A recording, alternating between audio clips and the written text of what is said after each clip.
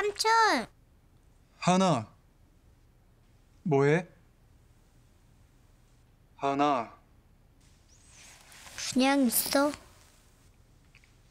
하은이 보고 싶다 나도 삼촌 보고 싶어. 하나, 삼촌, 나중에 또 통화해. 삼촌이랑 통화했어? 엄마, 나 예전처럼 외할머니 집에서 다 같이 살고 싶어. 하은아, 이제 그럴 수 없어. 엄마랑 아빠랑 결혼했잖아. 나 삼촌 보고 싶어. 할머니도 보고 싶어. 그럼 이번 주 주말에 가자. 아니, 지금, 지금 가고 싶단 말이야.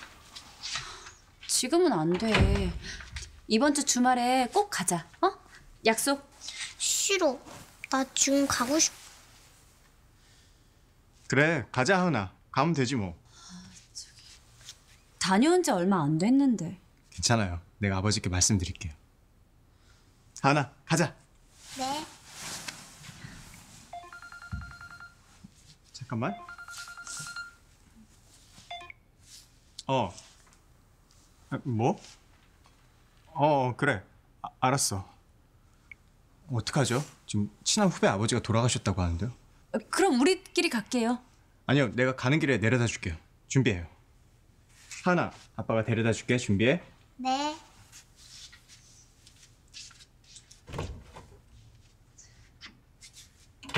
하은이 좋겠네. 할머니한테 전화해볼까?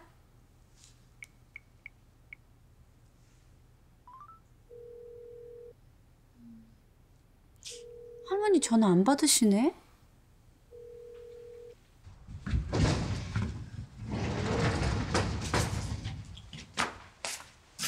뭐해?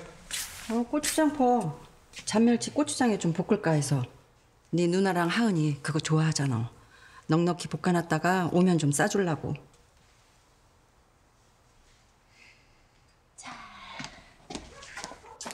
하참, 색종이 안 샀다.